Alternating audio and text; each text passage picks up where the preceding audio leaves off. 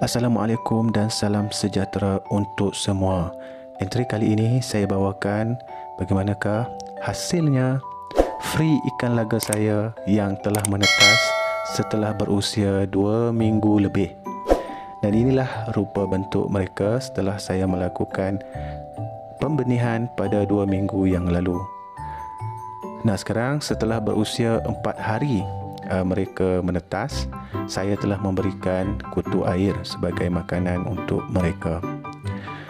Mungkin ada setengah orang memilih infosuria, BBS atau kuning telur atau sebagainya makanan-makanan yang menjadi pilihan uh, yang boleh diberikan kepada free ikan laga. Tetapi saya lebih memilih kutu air kerana kutu air lebih mudah.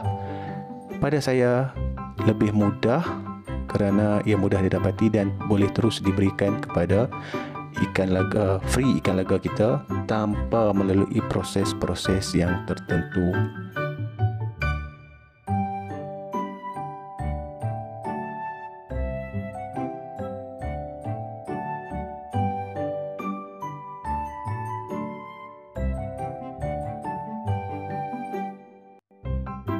Dan jika anda uh, perhatikan ada terdapat daun pisang. Daun pisang ini sebenarnya uh, akan memberi makanan tambahan. Mungkin ada terbentuknya infusuria apabila saya lambat memberi makan uh, kepada mereka ataupun mereka terputus uh, apa nama ni kutu air.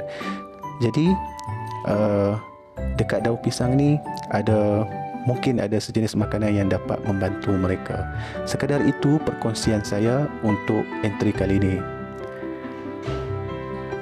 Jumpa dan jumpa lagi. Sekian terima kasih.